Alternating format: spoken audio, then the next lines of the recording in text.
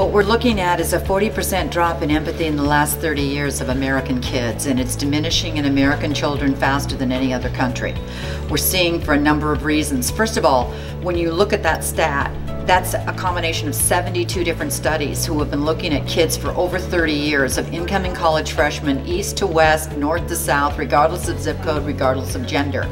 But they found the number one starting to go dipping was around the year 2000. So then we look at what's the trigger? A number of factors because we do know empathy breeds in a culture of caring that's going. Civility seems to be going. You need face-to-face connection. We're very plugged in. As wealth goes up empathy also goes down. Parenting styles are actually countering empathy development uh, from discipline to helicoptering to the need for moral courage uh, all of our critical for empathy development are also going down and the also we're seeing that children's moral identity is going down because we're not putting so much emphasis on values what do you stand for who are you? It's all a matter of what you get as soon as the kid comes home. Empathy can be cultivated. That's the good news. This is something that there is an escape route. We just need to be a little more intentional about realizing we can make a difference on our kids and how they turn out. Second it's getting that information to uh, parents. So every teacher Let's get it into the hands of a parent so they realize this isn't a temperament, it's not locked into IQ, it is something you can cultivate, but you need to be intentional about it. We've already got the alternative.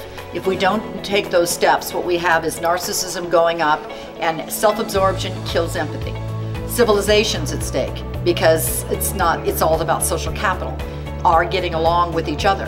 Third thing that's happening is that if those habits don't go in place, depression, stress starts to build. That's also what we're seeing in children. We are also seeing the fourth most tragic trend in United States kids right now. They are the loneliest generation on record.